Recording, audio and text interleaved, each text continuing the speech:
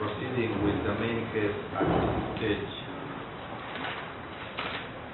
would mean that the state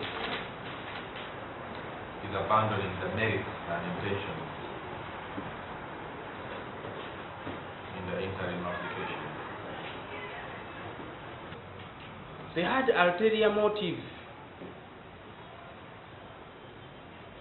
Have her declared insane. That is the preoccupation.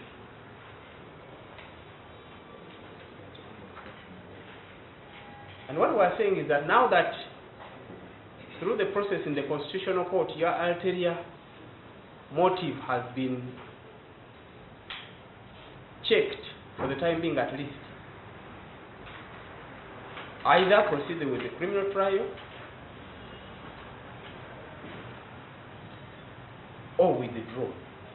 So in the circumstances, and to allow for the necessary consultations with the DPP which way to go with the matter, which is equally uh, within the ambit of justice, I will adjourn for one month time, that's the 21st of August, for mentioning this case to hear what the prosecution has uh, discussed with the DPP on whether to proceed with this case at this moment or not. And I'm sure that guidance uh, will assist the resident state attorney present in this court to address court on whichever way to go. And therefore, we shall then be able to take some